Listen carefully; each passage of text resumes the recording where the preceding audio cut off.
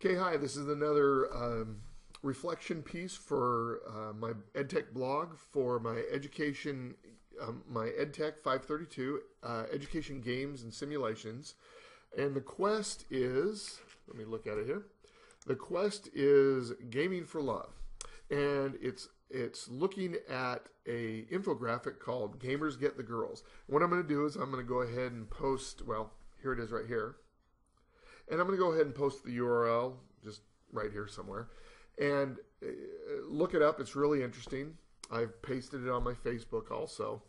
But what it basically does is talk about the, the difference between online gaming and, well, I should say, the difference between uh, uh, online dating sites and online gaming sites and how more people get matched up in online gaming sites or at least have the opportunity to connect with people because of a few different things. By the, the increase in adrenaline, that you produce when you're in a, uh, a, a, heightened uh, situation by the number of players and the connections that are made by a lot of different things. So it was really pretty cool. And my reflection piece i'm supposed to uh, reflect on what my thoughts are on this phenomenon. Well, I guess uh, the easiest thing is to do is since this is my wife's birthday, I'll go ahead and reflect on how my wife and I met. Uh, it was many years ago, and uh, back in the 90s, early 90s, and uh, we met through a game. It wasn't an online game, but it was still a game. I had just moved to a new city uh, my wife was going to college in a town quite a few miles south of where I was at, uh, but I had a friend in that town that was uh, that was the brother of a guy who owned a game store of a friend of mine. They were both friends of mine. But the one brother, he invited me to uh, come down and play what's called Werewolf the Apocalypse. It's a role play game, tabletop role play game. And I was intrigued because we were going to have a uh, a game master who was a linguistics professor at the college.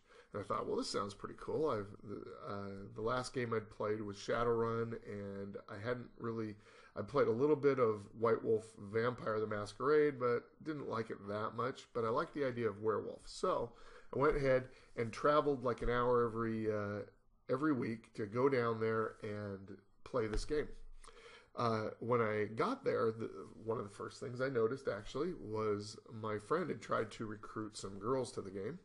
Uh, he managed getting only two, uh, and one of them was this cute redhead that at first I thought, oh, she's cute, and then I thought, ah, put it out of my mind. I'm not going to worry about it because I she was a lot younger than me, and I just thought ah, that's never going to work. So I just kind of put it out of my mind.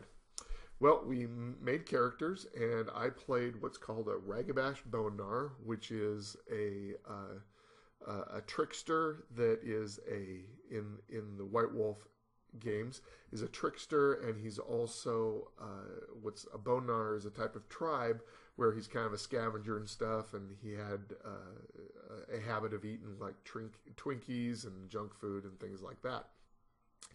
Um, what people didn't know my uh, my to be wife. She was playing another character, which was a uh, a gangrel, which is a vampire pretending to be a werewolf because she could change into a wolf.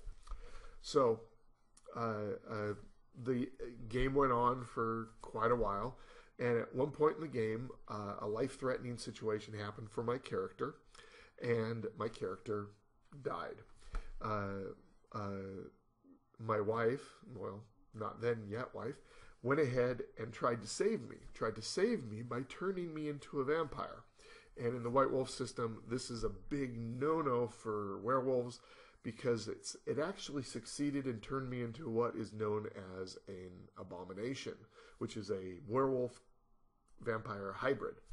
And uh, but the but she thought I was dead and moved on. I made a new character and the uh, game master or storyteller uh, went along with this and went and made sure that as I played my new character, that he would drop little hints uh, of the that my other character was basically haunting my uh, my to be wife. And so she would find like little like Twinkie wrappers out in the woods that of somebody following them or seeing shadows and things like that. So my character, Fingers, the Ragabash Bone Gnawer, um, eventually uh, linked up again with Shay, the vampire uh, gangrel uh, um, werewolf impersonator, and uh, um, and she found out that she wasn't losing her mind and that he was actually turned into an abomination, uh, but still a lovable little scamp. And so uh, eventually, actually, we ended up getting married. It's also interesting to note that the other girl in the game also married someone that was in the game, my friend who invited her. So, so yes, gaming does have a direct connection, I think, with love.